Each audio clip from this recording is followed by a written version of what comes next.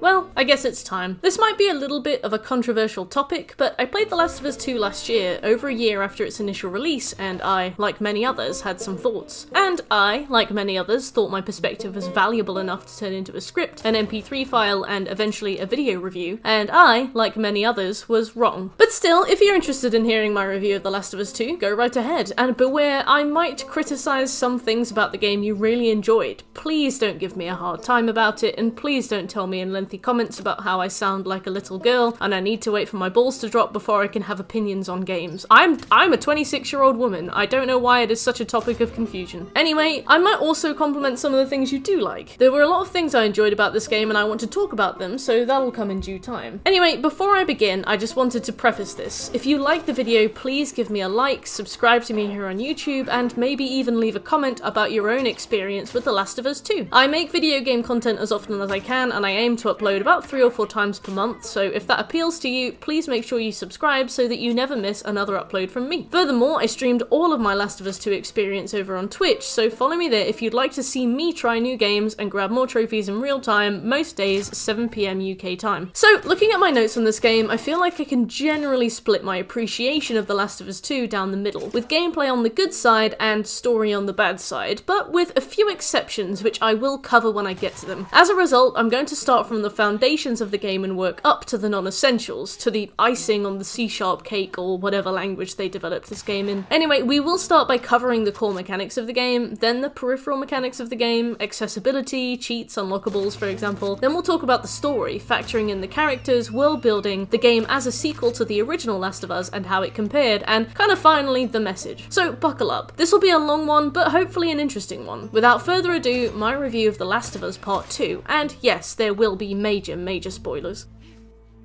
Section 1 Mechanics. Relax, you will be relieved to know that I think the gameplay of The Last of Us 2 is top tier. It's definitely one of the best components of the game, all things considered, but that's not always a point in its favour. My favourite part of Pizza Hut pizza is that super greasy crunch in the deep pan crust, but I'm hardly going to spend 18 quid on one just for that. That being said, the overall combat and traversal of The Last of Us has completely pushed the envelope of gameplay in terms of fluidity, accessibility, and most importantly, fun, which contrasts it harshly with the actual story, which which is bleak and unrelatable. And it builds on the mechanics of the first game really naturally. There's no janky adjustment you have to make if you play the sequel immediately after the first, so you can just step right into it. It's hard to describe, but essentially Naughty Dog seems to have mastered flow. Not only seamless transitions between actions and animations, but also the tempo of those actions, sprinting from cover to cover only to focus through a scope, fire, recoil, take cover again, hop over a ledge, swing a melee weapon, dodge away, hide, quickly craft. All of these actions are not only different animations, but different speeds the transitions between them varying from abrupt to quick to free and natural. Yet, in The Last of Us 2, it's not only extremely easy and smooth to perform these actions in quick succession, but fun as well. It's cathartic, satisfying, genuinely engaging. In some ways, it's not even the combat you're there for, it's the pleasure of performing this dance almost. God, say, that made me feel like a dickhead. I'm sorry. Weirdly, I had to adapt to this level of ease. It's such a strange thing to say, but after playing games like Uncharted and GTA, I was really accustomed to angrily wrestling characters through a sequence of animation that I would often over-click buttons when coming to The Last of Us 2, meaning Ellie would spring around like a moron, usually into the welcoming arms of a bloater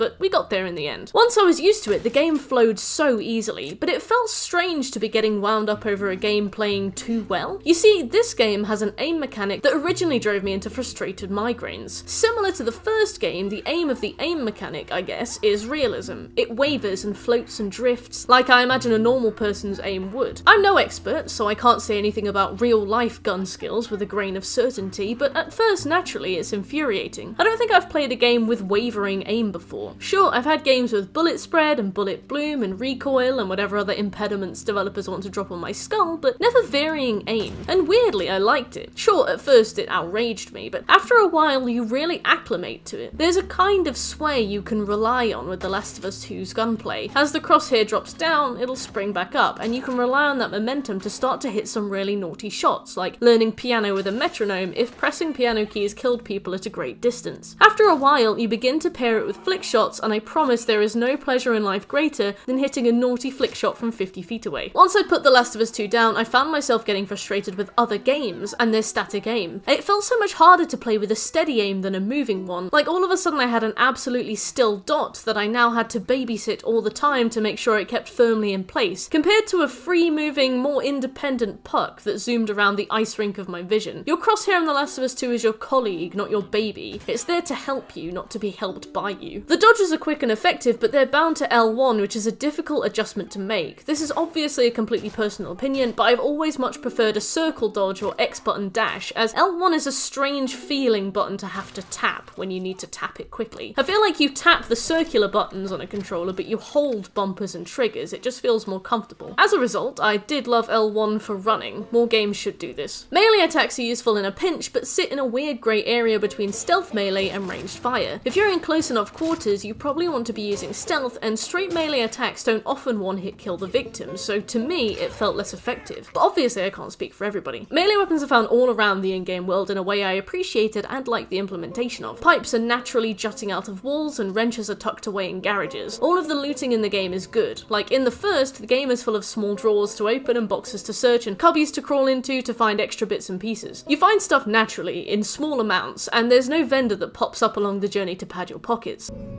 Got something that might interest you. You find what you find, and that's what you work with. There are a lot of collectibles in this game, which is something I've heard complained about, but I didn't mind them myself, oddly. Perhaps it was because I didn't run through the game in one go, but spliced it amongst other games I was playing at the time that maybe gave me a little bit of extra stamina for finding the collectibles, or whether I've not played many games with collectibles, or whether it is quite an exploration-focused game, but whatever the reason was, it wasn't overflow for me. It has roughly the same density of collectibles as Doom Eternal, but that game really wound me up with how much stopping stopping and starting I had to do to make sure I had everything as I went, so I personally feel like it just depends on the genre and the pacing of the game. It's annoying in a fast-paced game like Doom, but it's alright in a slower game like The Last of Us 2. I also appreciate the way, as with the first game, lootables are limited depending on the difficulty you play on. Grounded mode really does feel grounded in the most literal sense of the word. Loot is sparse, crafting is a careful consideration, and going out of your way for extra items can often backfire if you spend more than you find just fighting your way out of the situation again. One issue I did have with grounded mode, and this is a weird one, it might have just been pure coincidence, so let me know if you had anything similar or anything different, but it is the only difficulty mode I ever saw any bugs in. It was strange. It was absolutely bug free for the first three playthroughs I did, but I don't know if it was a damage related momentum thing or what, but the enemies in Grounded very frequently twatted me so hard that I would fall through the floor of the map. I remember several times during Abby's fight with the Rat King, he would whack me into the fifth dimension and I would just fall into a big black pit below the floor. It never really bothered me, thankfully, since the hit would kill me anyway, floor clipping or not, so it ended up being a lot of comic relief during some of the harder sections when I just get twatted into the abyss, but I thought it was worth mentioning at least. It wasn't an issue, but it was just something I noticed. Besides that, grounded mode really does feel like the game was intended to be played. Limited items, as limited as items would be 25 years after an apocalypse, plus devastating enemy damage make for savage encounters, where you either carefully battle your way through a group or trial and error your way through them in stealth, figuring out their cues and patrol patterns to isolate them and pick them off one by one is really rewarding. In fact, the combat encounters truly are the highlight of this game, which makes it such a shame that they are so few and far between comparative to the length of the game time. One of the things this game really suffers from, besides a deplorable story, but we'll get to that later, is padding. This game is absolutely rife with padding. There are volleys of cutscenes, but more annoyingly, cutscenes disguised as walking sections where you fat walk in one direction, just pushing forward on the stick whilst characters talk to each other. I promise, Let's just make it quick.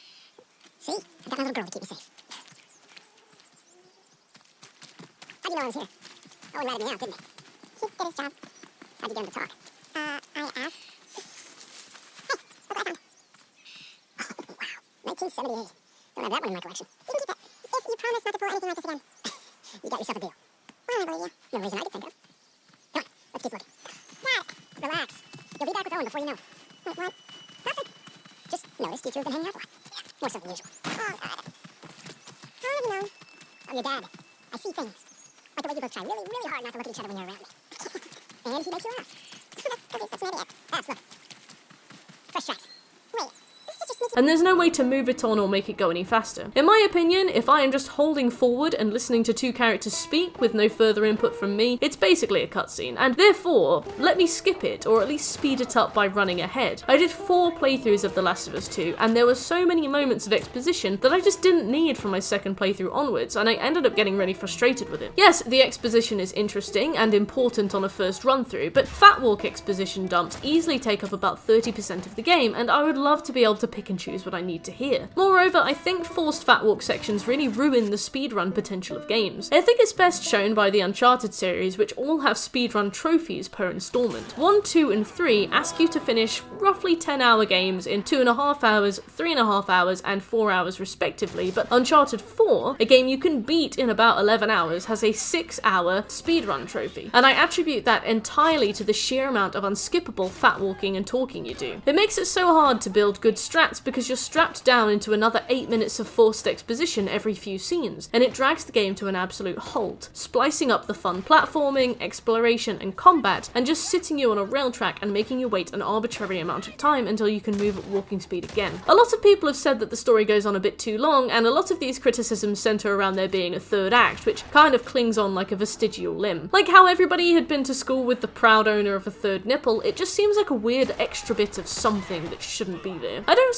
strictly agree with that. I think that the game goes on too long because of all the unskippable walking and talking, which forces areas to bloat well beyond what's reasonable, meaning some aspects of the game that should be about 5 minutes long go on for almost 30. The pacing is wild, and I'll get to it soon, but besides being annoying and shit to constantly be swapping between a slow crawl and a weird limp, the mad pacing serves to split up the fun gameplay even more. When the game is allowed to shine, it does, but it's so desperate to cart you about for hour after hour, so you're always waiting ages for the next interesting moment. In fact, speaking of the final section being a bit of a vestigial limb, there are a few gameplay mechanics I felt were added in right at the end that were very underdeveloped. For example, when infiltrating the Rattlers in the final chapter, the resort, you find infected wearing collars being used as guard dogs. This is a really cool concept, and you see it for the first time here in a 14 hour story right at the absolute end of the game, literally the final half an hour. Why not introduce it early on? In fact, why not have the Rattlers featured earlier in the game? Just like the infected guard dog mechanic, there's a lot of undercooked stuff in this game, but story-wise we'll get there. The infected are basically an environmental hazard by this point, of which, not counting the Rat King as he's a unique enemy, they only introduce one new type, the Shamblers. Shamblers is a weird name considering they are very good at running and exploding, so I was thinking perhaps Bombi might be a better one, but we'll think about it. They're a fairly familiar zombie type, being that most pieces of zombie media do have an exploding zombie, but I love the way that they developed because of the excessive rainfall, causing their infection to manifest as acidic pus pustules all over their body. I remember Druckmann really proudly explaining this concept in a few interviews, that the cordyceps infection would develop depending on which region you were in and the kind of environmental factors that would impact your body as it developed through the stages of the infection. Touting a mechanic Pokemon had down pat years ago, except oh wait, you find them in Santa Barbara too for some reason. Like in the sun, where it would be dry and hot. Oh well, world building gone I suppose, I guess they couldn't resist. The Stalkers get much more of a debut in this game as well, to the point where a lot of people think that they first showed showed up in The Last of Us 2, but they actually featured very briefly in the first game, firstly in the basement of the Pittsburgh Hotel, and secondly in some sewer level, so they were fairly underutilized in the first game and it was good to see them again here. They used much more in The Last of Us 2, and not in a weird inorganic way either, like the Shamblers. They haunt crowded dark rooms with lots of nooks and crannies and make for super interesting stealth sections that you can absolutely sprint through if you reach the QTE doors fast enough. While the core mechanics of the game are mostly consistent quality, the peripheral mechanics are more hit and miss. The depending on how much attention they were given in their development. Some features are well adjusted, but some of them come with some crazy daddy issues. Ellie's wire puzzles? Daddy issues. They used it a couple times throughout her section, but hardly developed beyond find somewhere to swing on this, find somewhere to throw this, but then they get abandoned in the latter two thirds of the game. Ellie's sniper tutorial? Daddy issues. It's the only part of the game where the bullets have drop off, and sure, it is cool, but you never ever need to shoot any enemies in the game from the same distance you learn with Tommy, especially for a section that has about 20 minutes of conversation, it is rendered a huge waste by mere virtue of the fact that the design team just fucking forget it exists. Random open world exploration section? Daddy issues. There's only one section in the game, it's full of buildings, but as I said before, the speedrun potential is crippled, especially here where the gasoline you're fetching will always be in the second place you look, meaning you can't learn the game and be rewarded with saved time on future playthroughs. These buildings are just rooms with collectibles and notes, so if you're all about exploration, this is an ideal place, but it's so hollow. The bank is interesting at least, basically a wrong place, wrong time scenario for a group of bank robbers who decided to hop on that Sigma grind set on day one of the outbreak and consequently got locked in a vault and left to die. It's a cool bit of exposition, but it didn't need to be an open world to be successful. I'd have enjoyed it just as much on a linear path. Also, this random open world area takes the pacing out the back of the shed and puts it down. You go from a cohesive story to just two hours of dawdling in a section of game that adds so little that after the first playthrough I'd just run run through it as fast as I was allowed to. Rattler infected guard dogs? Daddy issues. A brilliant concept only introduced right at the end when most less impressed players will either have given up and moved on to another game or emotionally checked out, meaning that the impact is lost and there's no space to grow the concept, perhaps to a chained bloater boss that you have to loop around and tangle on objects. Swimming? Well adjusted. It's certainly alright, it plays similar to Uncharted games, not used loads but not overused either. Like the game hardly has you dragged off to the water temple 8 hours in and forced into awkward 3D traversal with nasty camera controls. It's like self-confidence, you know, it comes and goes and sticks around just short of being useful. Gun crafting animations, well adjusted. Something they didn't need to add at all, but they did and it's excellent. Watching our main two characters carefully work their way around firearms, delicately replacing parts, cleaning nozzles, and closely examining items. Accessibility options, well adjusted, brilliant even. But I mean, I don't strictly need them, so I'm not the authority on this by any means, but having direction arrows point you along the path is very useful on future playthroughs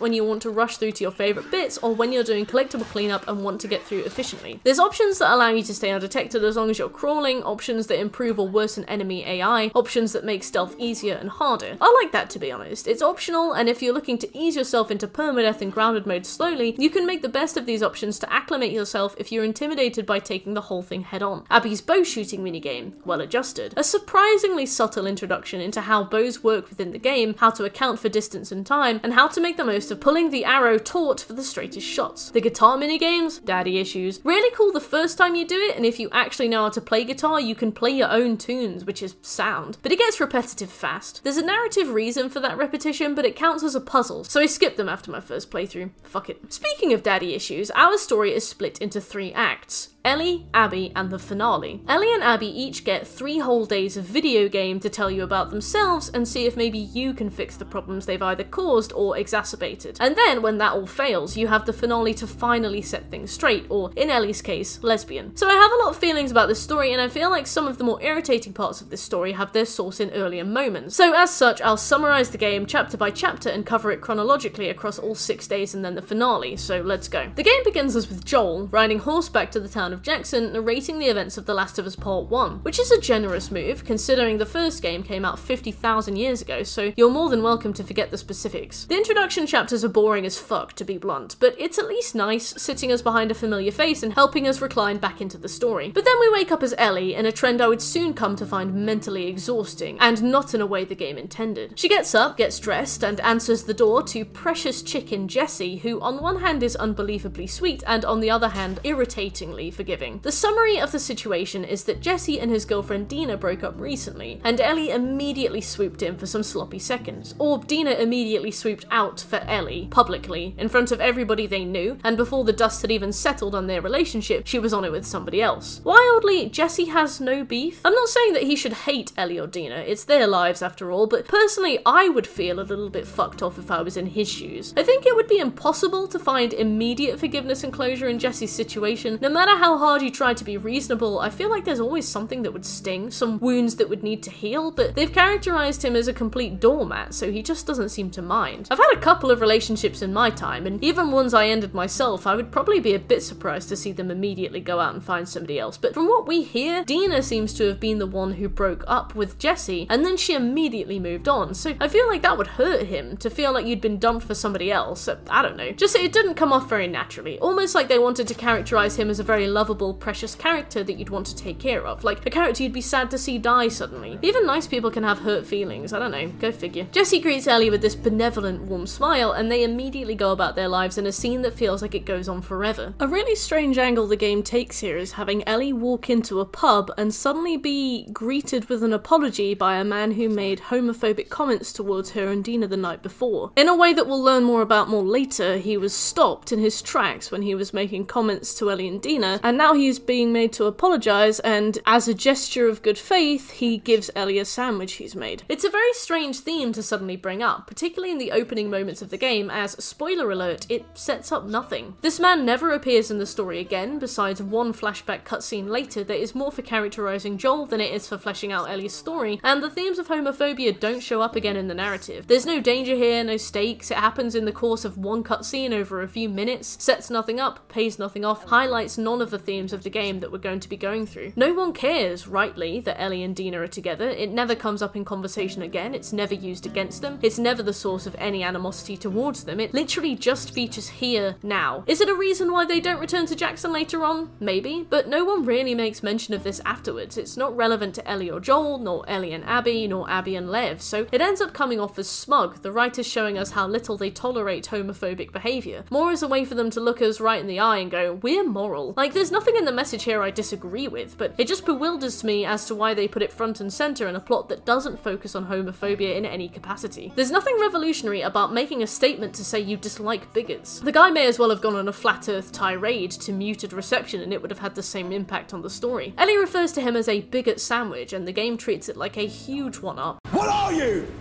and I tried to latch on to whatever story I was being fed in vain. Afterwards, we take on some tutorials, such as the snowball fight against some kids, one of which was an absolute jumbo shithead.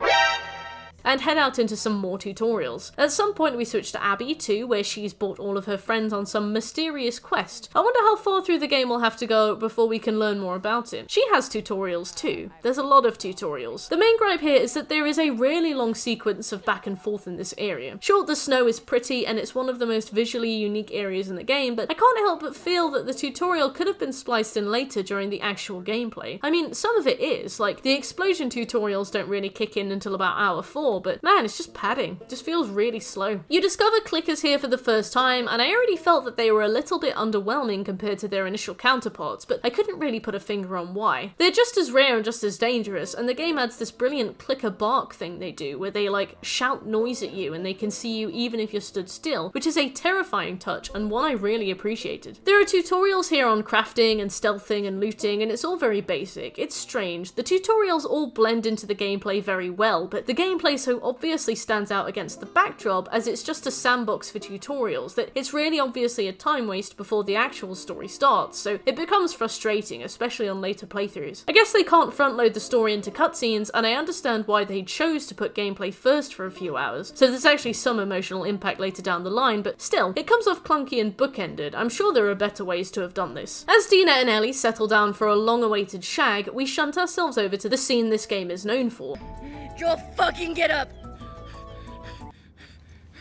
Please stop! So, you know, spoilers, but Joel dies. It's a bold choice, definitely. Big shock value, big sad, and a big sticking point for a lot of players. Definitely bold, considering they want you to like Abby later, but in my opinion, they crippled themselves here because they killed the most interesting character in the game, and then just kind of left a vacuum no other character could fill. I mean, who comes close? Jesse's a smiley face badge. Tommy's MIA the whole story. Dina starts to shine, I suppose, but once she admits she's poggers, she sits out the rest of the game. So they kill a huge character, probably for the sake of breaking some ground, but they don't really do anything with its absence. You could say it's intentional, like it's a metaphor for grief never quite having that hole filled, but it's also boring. All the characters end up being disparate meteors without a sun to orbit. Neither Abby nor Ellie ever fill the void, and I patiently wait for the story to be interesting. Intentional or not, it takes the legs out from under the story right at the start and lands it hard on its arse. This is definitely the peak of the story too, this huge moment of horror, and the rest of the game just trickles on afterwards with little direction, like it's trudging home in a pair of shit pants. People chasing other people, characters popping up and snuffing out like candles, few connections or relationships forged or explored, like a drunk walk home after a disastrous night out. One to remember, sure, but more for the fact that you saw your aunt get divorced after three glasses of wine and not because it was a bit cold on the way home. I'm not even necessarily against the fact that they killed Joel either. I think done right it could have been a heartbreaking and so impactful twist, but it ended up being a pathetic way to reignite a sad fire that died out years ago, with no new kindling to contribute, so it just weakly flickers on the embers until it fizzles out for good, and then the game goes on for 10 more hours. Oddly, I felt like one of the strongest parts of the game quickly followed the weakest part of the series. It's only a small moment, but Ellie grieves, and it's very genuine. There's an optional scene you can find if you take Ellie to Joel's closet, where she hugs his coat hard and inhales his smell, and it is unusually real and touching. Paired with better built up deaths and more organic casts of characters, I would have been ugly crying at this point. This game is probably probably one of the only moments she feels like the Ellie we know from the previous game. Particularly if you played the first just before the second to refresh your memory, this moment will stick out. She leaves his house and you can see that his house is overlooking hers, like a father over a daughter. In some ways, bittersweet. Especially after he's passed, he's still watching over her. In other ways, cringe. I'll cover it later, but Joel is a battered dog in this game. We'll get to it, but I guess touches like these were stained for me by the ham-fisted execution, literally. After like two conversations, Ellie decides to head across the country for revenge. For me, and from what I've seen of the way other people engaged with this story, this seems to be the point of the game where you're either invested or you're not, and if you're not invested in Ellie's story here, you probably never will be. This plot point, Ellie actively deciding to go on a journey to enact violent revenge on someone else, definitely seems to be the fork in the road for a lot of players. On one half of the line, you'll have people who back Ellie, probably the kind of people who think they'd be a wolf if they were an animal. Reality check, you apple. There are more animals than just wolves, you'd probably be a donkey or a budgie or a a Mediterranean spur thighed tortoise. On the other half are people who just don't see the point in revenge. Abby was a huge sado, spending several years trying to get a chance to bump off Joel. Two wrongs don't really make a right, and it is a lot of effort to go cross country just to kill somebody who went cross country just to kill you at the age of 19, surviving rough and going through God knows what just to kill somebody who wronged them. I think it's easy to see Ellie's actions through the framing of the game, i.e., a bunch of scenes with loading screens between them, but think about it. She crosses whole states. This story story spans the course of years. Firstly, between Jackson and Seattle. You can tell because Mel admits her pregnancy to Owen in the first scene, and she's around nine months pregnant by the time you see her again. And then there's another year or two until Dina and Ellie arrive on the farm, because obviously their baby is more than a year old by that point, and then God knows how long to get to Santa Barbara or back. That is a long time travelling hundreds of miles through a dangerous world just to get revenge. That is a life consumed by revenge. And I don't think a lot of people understand the quantity of hours, days, and weeks that they have spent consumed by revenge. I don't know. It just didn't seem something I could relate to. I was in the second camp, if you can't tell, and I just didn't back Ellie. As a result, her story began to fall very flat for me. I started to discover a lot of QuickTime events that wouldn't let me past until I actively murdered innocent people, or would kill me and make me retry until I did it. It started to feel contrived for me, and a smug hand-holdy look at what you did, despite the fact that I wanted to finish a game I'd been given as a gift and had long since emotionally checked out of. We had a fairly even split in Twitch chat if I remember correctly, so I know a lot of people do side with Ellie, but personally I just never agreed with her actions or motives. So I feel like half of the audience went along with this willingly and enthusiastically and really enjoyed the game, and the other half awkwardly went along because they paid money for the experience and kind of wanted to see how it ended. And this is a long game to not have half of your audience on side. Ellie's day one begins with her approach to Seattle, where most of the story will take place. This chapter is relevantly called The Gate, as said gate needs to be passed through for Ellie and Dina to continue on their journey. This requires a bunch of cord throwing, a ton of key codes, and a hell of a lot of fuel. Overall, the central conflict of this chapter, the aforementioned gate, is a solid foundation for this gameplay segment. It's concise. Ellie and Dina need to move forward, but they are blocked by a gate and they need to get around it. I like stuff like that. Simple problems presented by the story with simple solutions that are solved through gameplay. There are a few things I liked about this and a few changes I would have liked to see, but the game's out now and I can't expect a rehaul. But either way, I like that the game has a semi-puzzle sequence here. You need to throw wires over fences and through windows to open up different areas on the path, and find scraps of paper with key codes on to get through big heavy doors. The setting here is really interesting too. Seattle is, or was I guess, an extremely militarized zone, fortified as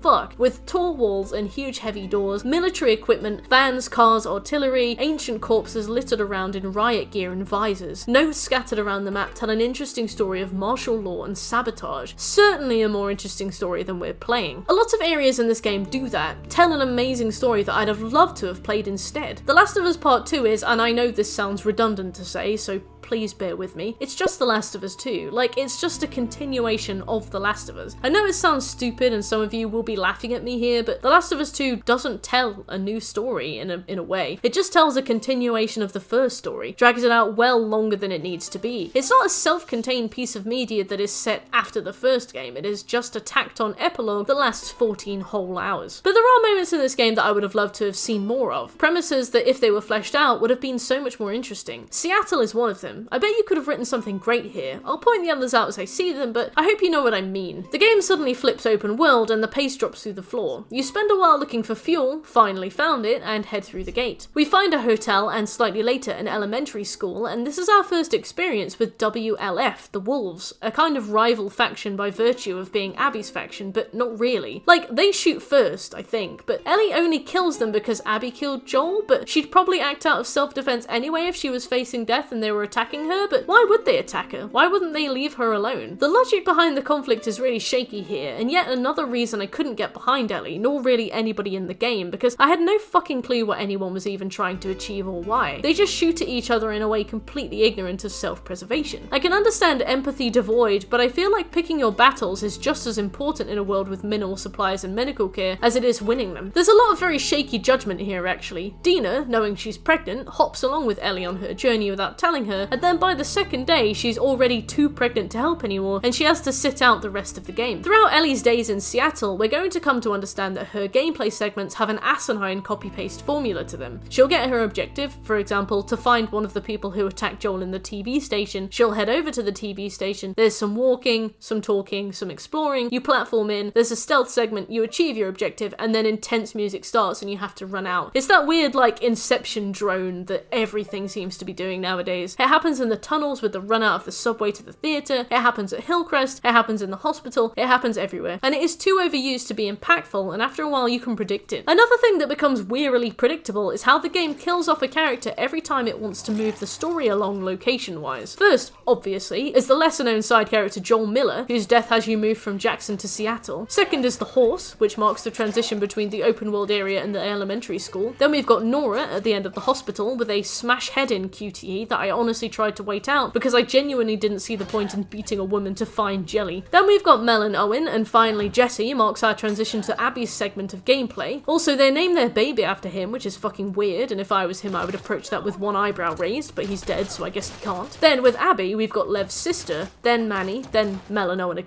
again, I suppose. Characters aren't characters in the world or story as much as they are just point scoring for loss, denoted by an abrupt cutscene in the middle of a moment of action. It's weird because as I was playing The Last of Us Part 1, I noticed that this game kind of does that as well. Sarah ends the prologue, Tess marks the transition between the quarantine zone and the sewers, the outside world, Henry and Sam the transition between summer and fall, but all these people were built up to be imperfect but brilliant characters and their deaths are impactful despite their flaws. Sarah's a plucky tomboyish character who we see mirrored in Ellie. The last shrapnel piece of Joel's memory of the pre-apocalypse world, something he can barely talk about, but a vestige he nurtures in Ellie who acts as her parallel. Tess is Joel's partner, she's extremely tough, unforgiving, battle-hardened, but clever and snide, with a good sense of humour and a respectable sense of duty. She is the one who encourages Joel forwards on the quest, him initially sceptical about Ellie's adventure because she wants a better world and she sacrifices herself to allow it. Henry leaves you in the face of danger to keep his brother Sam safe because he loves him so much, but he's a strict, and at times neurotic caretaker, keeping Sam harshly in line, stopping him from collecting new toys and having too much fun. You can understand why he does it, and you can't really blame him for the actions he takes, he's just another survivor, doing their thing and trying to just get by. When Sam's bitten and turns, Henry kills him, and overcome with grief, kills himself. But then we look at The Last of Us 2, where Jesse's just a doormat who gets shot in the head after a bunch of lukewarm appearances where he drives zero plot and inoffensively aligns with everything Ellie wants. For Abby, Manny is a womanizer who gets shot in the head after a bunch of lukewarm appearances where he drives zero plot and inoffensively aligns with everything Abby wants. Mel and Owen are our closest things to fleshed out proper characters, but neither of them push the plot or drive any character's motivation besides Abby's need for revenge. They're just entities she whacks against during her own story. And like I said, if revenge doesn't personally appeal to you, there's nothing there for you emotionally as the player. Mel could be a reflection of Abby's potential life had she not become consumed with revenge and broken up with Owen for the sake of her obsession, but if that's the case, I think think it would have been a better reflection if Mel had stayed alive and thrived, to really show Abby the life she sacrificed just so she could avenge her father's death. Outside of these insta-kill cutscenes, there's not a lot of violence at all. I felt like a bit of an edge lord for saying that, but hear me out. I remember in the first game getting caught by an enemy meant a gory, nasty death, especially the bloaters, which were borderline traumatizing.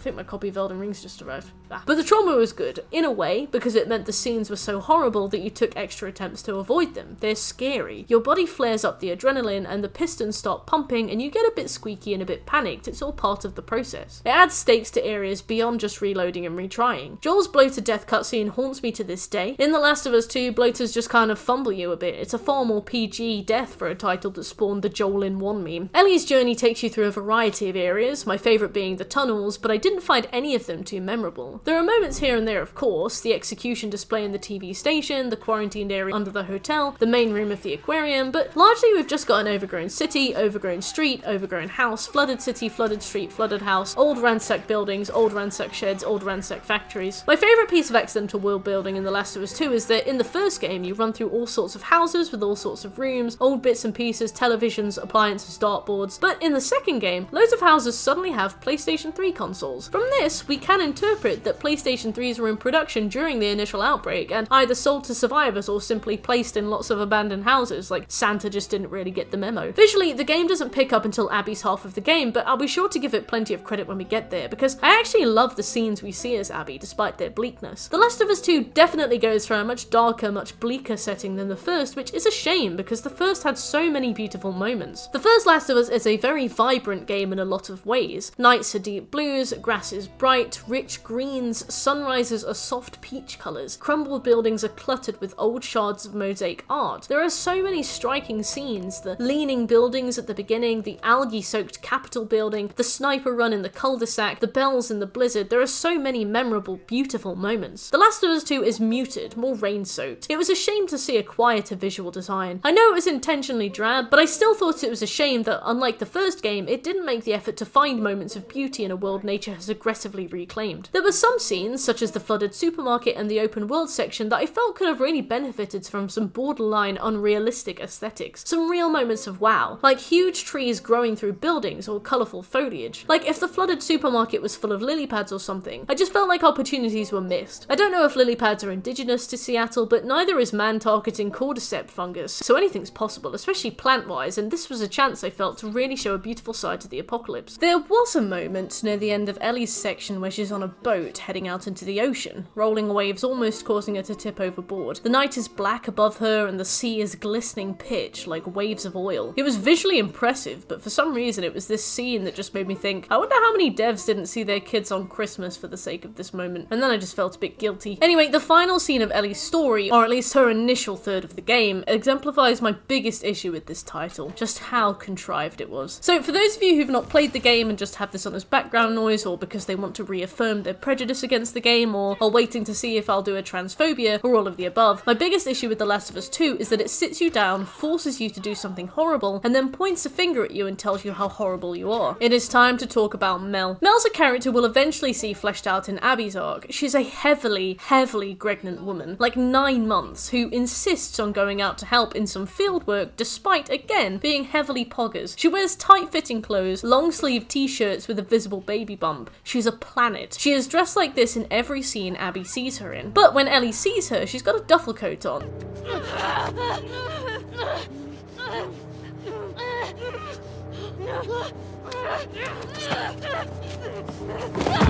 Like a huge fuck off Michelin Man floor length cloak, the puffiest puffer coat ever created, just puffy enough that it completely obscures her baby bump, despite the fact that she's the shape of a lollipop. You wouldn't have a clue that she was prop hunt under all those clothes. So when Ellie attacks both her and Owen and holds them at gunpoint, neither of them say, hey, this is Mel. She's very pregnant right now. Please don't kill her. None of them say a word, and I feel like even if not for your own safety, you're parental hormones are going to kick in and you'll want to protect the life that's about to come spilling out of you like a popped beanbag. But no, nobody says a word, and what's worse, Mel physically attacks Ellie, like hand to hand combat. The medic of the team, a woman who is portrayed as very clever, very measured, leaps onto an armed attacker and tries to grapple the gun out of their hand. Just the hurdles we have to leap over for all of these planets to align, for Ellie to act in self defense and a QTE that if you don't press the button, you die and have to reload and do it again until you do kill her. And then Ellie sits back and sobs and the game looks at you and tells you what a heartless bitch you are.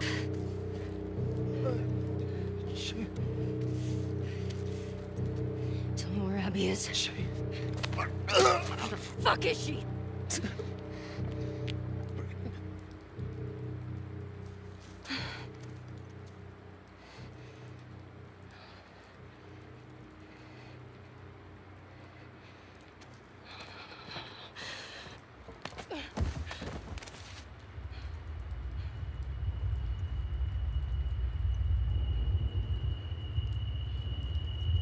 Like it didn't just hold the rest of the story hostage until you behaved like a good little player and killed the pregnant lady. Mel is here to serve two purposes in Ellie's story. A, she is proof that Ellie will kill without asking questions, and B, she is a parallel to Dina, who may also be killed at any moment by somebody who also does not ask questions. But like, think about this for two seconds. There are so many women in the game that you just kill without a word. They might be pregnant too and you don't know them either. So why is Ellie particularly sad about this one? Why does she give a shit? The main problem with Mel well, however, for me, was that she casts kind of a nasty light on the first Last of Us game. Yeah, I said it. The original Last of Us is not free of criticism here, because the more I look at The Last of Us 2 and the more I say about how it forced you into situations where committing atrocities was the only way to further the game, the more I realise that it would be hypocritical to complain about it after the first instalment had probably the most grievous example of this I've ever seen. It was the final set piece of The Last of Us 1, actually, because you see, the situation that Joel finds himself in at the crescendo of The Last of Us 1 is just as contrived as Mel's death. Although Ellie says herself that she would be willing to give her life to provide a cure, she's never actually given that respect by the Fireflies. They take her, put her under, and then tell Joel that they're going to kill her, or at least that she is going to die as a result of what they do to her. And the more I think about it, the more I struggle to kind of put the pieces together in my mind. Why would they not ask Ellie's consent before she goes under? Why would they then tell Joel, after Ellie is under, that she is about to die without her informed consent? Why wouldn't they wait until after the surgery is done to tell him. If they were going to lie to her, why didn't they lie to him? Why didn't they just let her die and then say it was an accident? As with The Last of Us 2, the first game is contrived just as badly to twist you into a situation where not only do you commit atrocities, but you're also somehow acting in self-defense as well. So both of them are bullshit to be clear, but the situation was different enough. In The Last of Us 1, you've got context on your side. Ellie is a defenseless girl who is about to die in her sleep, who has saved your life and been your only companion for the entire game. You've taught taught her how to survive and survived alongside her. She has become your daughter. The situation might be a load of shit that would never happen that way, but the emotional connection is enough that you want to do something to prevent her fate, no matter how silly it is. This feeling is never recaptured despite the contrived situations in The Last of Us 2. In the first game, sure, I can tell you Joel's a rampaging psychopath for killing an entire hospital's worth of people, but I also can't argue that they shot first, and I also can't really say I don't understand. At a modest 5 foot 4, I very much doubt I could ever clear a hospital hospital of people, but I at least, after everything I've seen, can understand why he did it. During one of the flashbacks in Ellie's section, she is shown returning to the hospital she was originally supposed to be killed in, running straight to her own operating room with Joel behind her, opening a particularly placed, abandoned duffel bag that no looter ever thought to pick up themselves, and finding the recording of the exact moment she died, kept on tape, with all of the exposition of her death spoken out loud for her to hear. So she hears it and she's upset, and Joel looks like a sad dog dialogue, it's just so ham fisted. The Last of Us 2 just never finds the original's level of moral ambiguity. With the death of Mel, so begins Abby's segment. Contrary to all the negativity I paid Ellie in her bonus story, Abby's segment to me was just so much better. I actually really liked her and much of the story around her, so let's actually pay the game some compliments now. In fact, if they ever wanted to release a director's cut with just Abby's segment, with Ellie being a hidden angry villain hunting her until the final confrontation when her identity is actually revealed, and the mystery man you killed in the prologue was actually Joel, I reckon that would be so much more interesting, and maybe a bit of a surprising twist on the basis I've had all of my memories of the full game removed. So we start Abby's section with a fat walk and talk chapter where we learn more about what a benevolent, jolly, and kind man her father was. Abby's central story seems her torn between her allegiance to the WLF, which I'll be calling Wolves from now on to save the syllables, her affection for Owen, her ex-boyfriend, and her new affiliation with Lev and his sister. She's a very normal woman, someone you can kind of imagine in your friendship group or at work work. She's a little dry humoured, fairly chatty, happy to earn her keep, dedicated. She has hobbies, fears, quirks. She made me laugh a good few times. I really liked her. It was fairly interesting seeing her struggle between all those parts of herself as well, but it also falls a bit flat towards the end of the game when she throws caution to the wind and just starts wantonly murdering the Seraphs and her own faction without a care in the world. She could have known any number of those people personally, or even just been acquainted with them, but it all goes to shit and she's popping people left and right without giving a shit. In fact, Abby's allegiance to the wolves is so weird. We meet Isaac early on, the leader of said faction, and he basically seems to be a symbol for every civilization based on its military. Internally efficient, but externally cold and aggressive, shoot first, ask questions later, strictly follow rules, no exceptions, with many of the internal members acting as pawns, fighting for causes they don't even know are in the crosshair. Isaac, like many other things in this game, is fairly nothingy. He's cold and bureaucratic, able to make tough decisions for the good of the many, but usually at the detriment of the few people we give a shit about. But still, he's fairly inoffensive and underdeveloped, he never really does anything besides just act as the rule expositor for the Wolves faction, and he dies in a way I didn't even realise until I was reading about him later on the wiki page. But that's fine, because we have bigger fish to fry. See, Abby is worried about Owen, her ex-partner. He's moved on, found someone new, and lives remotely in the very aquarium Ellie goes on to murder him in. But suspicious shit is afoot, and she wants to make sure he's okay, so she heads out to find him, meeting Mel on the way. I have to say, I did appreciate the awkward back and forth between Mel and Abby. As a a comparison to Jesse and Ellie, whose pain should be far fresher and whose conversation should be ten times more awkward, it sounded like a much more realistic conversation to have.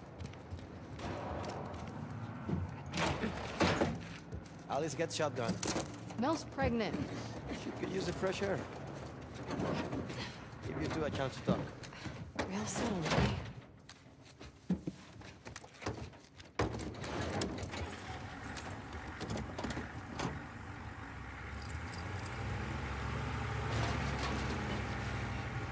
Gracias.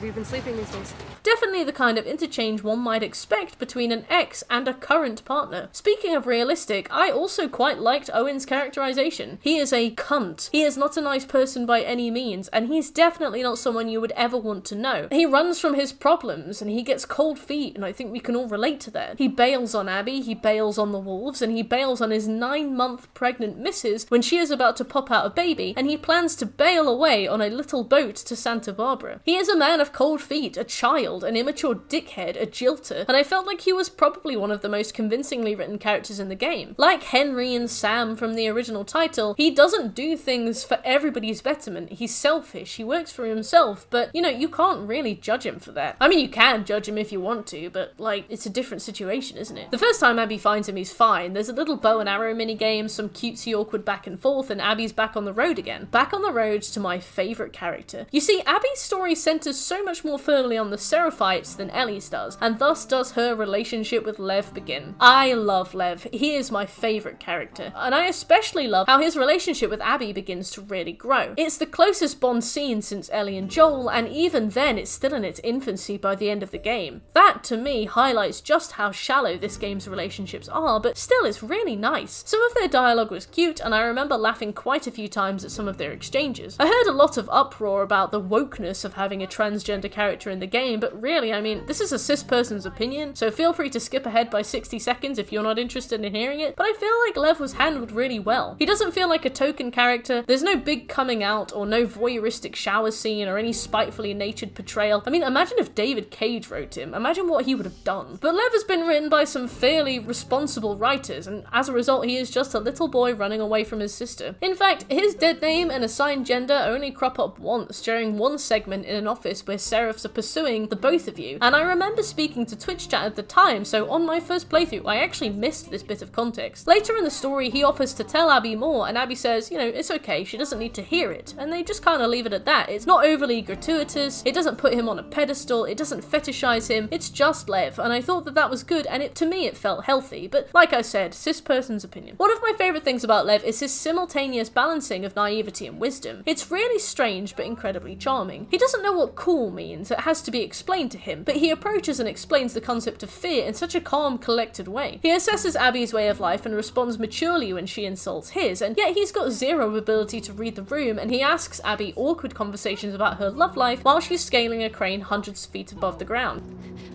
What's going on between you and your friend Owen? Oh my god, Lev, now? It seemed really awkward. Just go!